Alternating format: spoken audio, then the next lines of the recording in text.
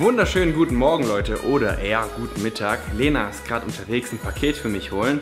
Und da klingelt sie auch schon. Lenchen. Da ist auch schon das magische Paket und ich glaube, da sind keine Supplemente drin, oder Schatzi? Nein. Lass das Ding jetzt auch mal aufschneiden. Ist ordentlich verpackt, das muss wertvoll sein, Leute.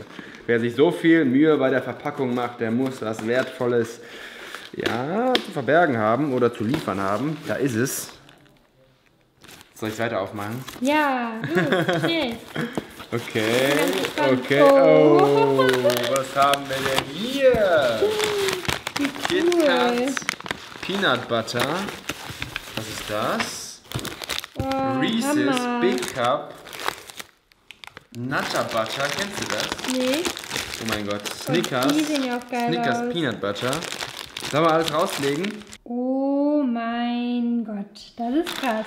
Das ist einiges und deswegen muss ich mich erstmal kurz hinsetzen, den Schock verdauen. Mega coole Sachen. Also, das ist wahrscheinlich mein Highlight. Reese's White. Ultra lecker. Oder auch, wo sind die Take 5? Ist das ein Take 5? Yes, Take 5. Die richtig cool. Kann ich euch, und süß, ist ne? super lecker. Also, das passt ja eh immer richtig gut. Kann ich euch wirklich empfehlen. Aber auch sowas hier hatten, hatten wir noch nie, ne?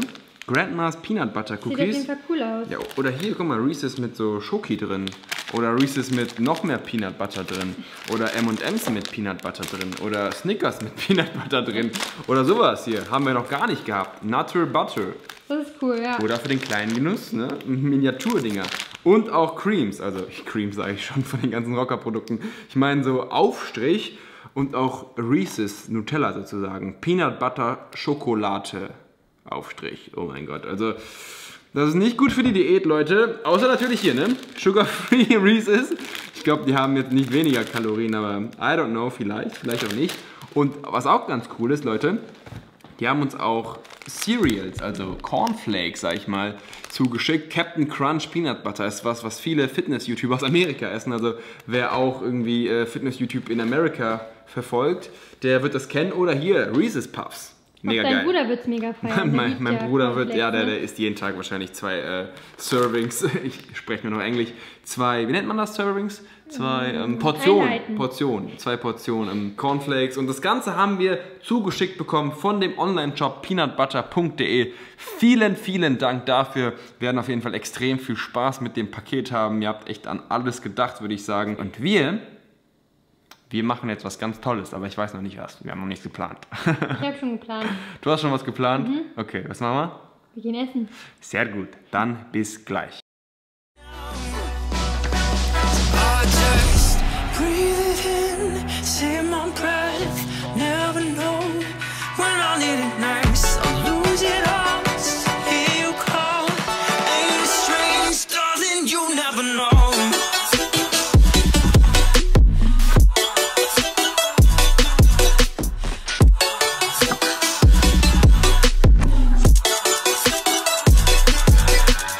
Willkommen zu einem ganz kurzen Trainings-Voice-Over. Und zwar soll es um die gute alte Kniebeuge gehen, die viele eben nicht auf die Kette bekommen mit einer guten Technik. Und das liegt meistens an zwei Faktoren, und zwar Sprunggelenksmobilität fehlt oder Hüftmobilität. Und die Sprunggelenksmobilität können wir ganz einfach mit dieser einen Übung, wo ich die Stange auf die Oberschenkel gelegt habe, ausbessern. Und wenn du nicht weißt, was ich meine, dann spule einfach 90 Sekunden zurück oder optional noch viel besser, gib auf meinem YouTube-Channel perfekte Kniebeuge ein. Und das zweite ist, wie gesagt, die Hüftmobilität und hier gibt es natürlich auch diverse Dehnübungen, aber das einfachste wäre es einfach, mehrmals am Tag in die tiefe Hocke zu gehen für zwei bis fünf Minuten und das kannst du natürlich auch während äh, des Fernsehguckens machen oder meinetwegen während du auf Instagram rumsurfst oder sonstiges. Hauptsache, du gehst halt in diese Position, in diese Endposition mit einer guten Technik. Das heißt, versuch die Knie dabei rauszuschieben und dann werden genau die Muskeln gedehnt, die du später auch bei der Kniebeuge haben möchtest. Und es bringt uns natürlich nichts, einen Spagat zu können, wenn wir eben nicht die passende Mobilität in der passenden Bewegung haben. Und ja, wenn du jetzt keinen Spagat im Training machst, dann musst du es auch nicht können. Und wenn du keine Zeit verlieren willst und ab heute den besten Weg fahren möchtest, um das Beste aus dir rauszuholen, also mehr Erfolg in kürzerer Zeit, dann schau dir einfach mal das Muskelpedia an. Dort gibt es alles Relevante für dich, von Trainingsplänen bis zu Übungstutorials, viel Theorie, viel aus der Praxis. Und wenn dir dieses Video gefallen hat, dann gib mir doch einen Daumen nach oben und ansonsten viel Spaß bei dem weiteren Vlog. So, bevor der wieder hier Faxen macht, erstmal anschneiden, Leute. Das ist immer so ein Struggle, ne? Ohne Witz, so ein Struggle. Die müssen mal Bodybuilder-gerechte äh, ne, Gurte bauen. Es gibt ja welche, die fahren. Okay, ich schneide mich erstmal an. Schieß los, Jetsi. Es gibt ja Gurte, die werden so nach außen nach vorne gefahren. Dann musst du nur noch so machen. Krasse Sache. Wusstest du das nicht? Nee.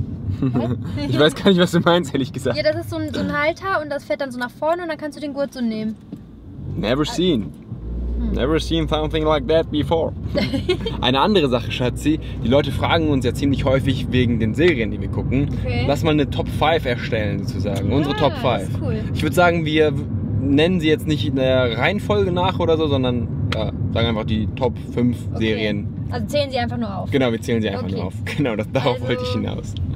Auf jeden Fall, klar, Game of Thrones. Game of Thrones, würde ich auch sagen. Ist aktuell auch wieder am Start, ne? Ja. Und deswegen äh, umso die, besser. Die neueste, die neueste Staffel ist super ja, gut. ist die beste Staffel, also finde ich fast schon. so, so Ja. toll gemacht auch. Ja. Richtig cool. Richtig cool. Und dann nenne ich einfach als nächstes Westworld. Westworld. Das ist ein Geheimtipp, oder? Die Das meisten ist- Leute kennen das gar ja, nicht. die gibt's, also da gibt es auch eine Staffel bis jetzt, ne? Und ich glaube auch nicht auf Deutsch, sondern nur im Englisch mit Untertiteln. Keine Ahnung. Und Hammer. Hammer, Leute. Hammer. Westworld ist einer meiner Lieblingsserien. Ist ein bisschen komplexer, muss man sich auch sehr konzentrieren, Ja, äh, aber super. yes, genau mein Okay, Ding. dann Jetzt bist du dran? Ja? Suits? Yes, Suits ist auch eine Hammer-Serie, kann ich äh, auch jedem empfehlen. Ist halt so, eigentlich, man denkt, Anwaltsserie, langweilig, ne? Aber Hammer. ist Hammer, ne? Ist ganz Ist wieder cool. eine neue Staffel jetzt draußen. Yes, das ist natürlich immer optimal.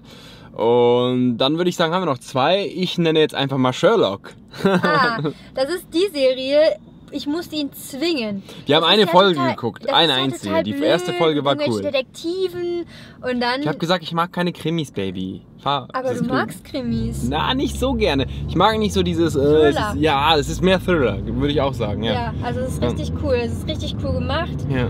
Und Ist fast schon ein Film, ne? Es ist ein Film, Ja. also es geht anderthalb Stunden eine Genau, Folge, pro deswegen Folge. gibt es nur vier pro, Se äh, pro Staffel? Staffel. Yes. Und ja, dann. Also Sherlock. Und, Sherlock, und du genau. musst den letzten jetzt noch nennen. Und Lucifer. Lucifer, ja. Lucifer. ja. Wobei Mega man cool. sagen muss, dass die zweite Staffel erst richtig gut wird. Ne? Die Ja. erste ist auch wieder. Ja, das ist teilweise so. Also ich feiere den Humor teilweise einfach richtig. Ja. Weil es einfach. Es ist schwer zu beschreiben. Es ist so. Sehr, sehr cool gemacht. Ja, Die sehr cool gemacht. Ich erzähle einfach sind nichts. ein bisschen gewöhnungsbedürftig, dann Ja. geht's Ja. ab. Genau, haben wir noch eine Serie vielleicht, unabhängig von der Top 5? Was haben wir denn noch so geguckt? Tabu haben wir geguckt, Tabu aber das war haben wir jetzt nicht so gefeiert. Müssen Da wird, glaube ich, auch die zweite Staffel besser. ja, Und dann haben wir noch das mit den äh, Gods. American Gods, das ist übelst gewöhnungsbedürftig, Leute. Also Ja. wenn ihr irgendwie nicht auf alternative Kunst steht oder so, dann zieht euch das mal nicht rein. Die Bücher sollen aber mega sein. Ähm, was haben wir noch geguckt? Ja, wir Das haben. war's auch eigentlich, ne? So, wir Ja. haben noch ähm, True Detectives und so. Ich habe früher Breaking Bad geguckt. Aber das sind so die Serien, die wir geguckt haben oder aktuell gucken. Ich glaube, wir haben noch nichts vergessen, oder? Mhm. Genau. Und dann würde ich sagen, sehen wir uns gleich beim Essen. Bis gleich. Windows up, hands on the clutch. Now it's on your butt, bad girl. But your daddy thinks that's in your past, girl. Sweet dreams, mix that ice cream with the gasoline. Lenchen, was gehen wir jetzt essen? Teig. Das Thai. Das können wir mal wie aus der Pistole geschossen. Hast du dir schon vorher, das haben wir schon abgemacht, aber man weiß ja nie. Meistens ja nicht die Frage, änderst du noch deine Meinung? Stimmt. Nee, eigentlich nicht. Haben wir einen Regenschirm, Baby? Ey, das Wetter in letzter Zeit ist so, so. Das soll ja alles noch jugendfrei hier Ja, bleiben, deswegen sagen wir es nichts. Ja, einen sehr, sehr wunderschönen Regenschirm. Ein äh, Burberry-Regenschirm. Läuft bei dir. So. Holen wir den bunten Schirm mal. Ach Leute, ich glaube, der Sommer ist schon vorbei. Ich glaube, die nächste, Nächste Woche, Woche Nächste Woche wird es 30 Grad. Nee, zwei Tage, Schatzi. Sonst ist nur Regen. Die nächsten sieben Tage sind Oh, fünf okay. Regentage und zwei sonnige Tage.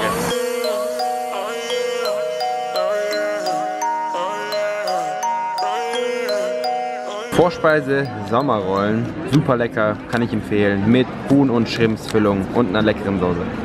Ich habe einen Thai Curry mit Rind und sie hat einen Mango Curry auch mit Rind. Guten Appetit, hier ist es viel zu laut, aber gleich erzähle ich mehr dazu. Hoffentlich, wenn ich es nicht vergesse. Was tust du mir hier an? Muss ich denn Essen wieder essen? Das ist mein Essen gewesen. Das ist jetzt weg. Und ihrs muss ich immer auch noch essen. Ja, wir hatten halt immer wollen. Wie, das wird dann nichts mehr mit dem Shredden hier. Ich muss auch shredden. Gleich zwingt sie mich auch noch Ben Jerry's zu essen. Jetzt geht's los.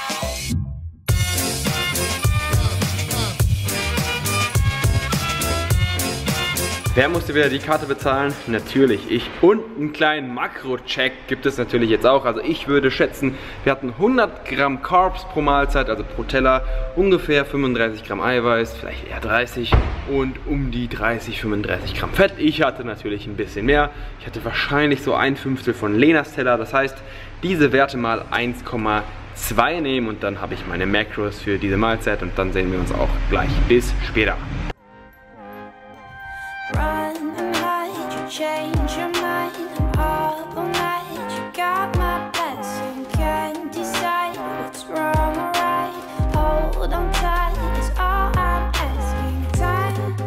Hallo, ein Erdbeermilchshake groß bitte. Erdbeershake groß, ja? Und ein McFlurry mit Smarties und Schokosoße. Smarties und Schoko, Mit ja? vielen Smarties bitte. Ja. Wie sie jetzt einfach mal eine Smarties-Packung aufgemacht hat. Nur für uns. Vielen Dank. Schönen Abend noch. Ciao. Ciao, ciao. Da ist es. Da ist es. So, jetzt kann man sich immer ein bisschen Eis nehmen, ein bisschen Peanut Butter, ein bisschen Oreo. Und dann probiert man das Ganze mal. Mm, ultra gut.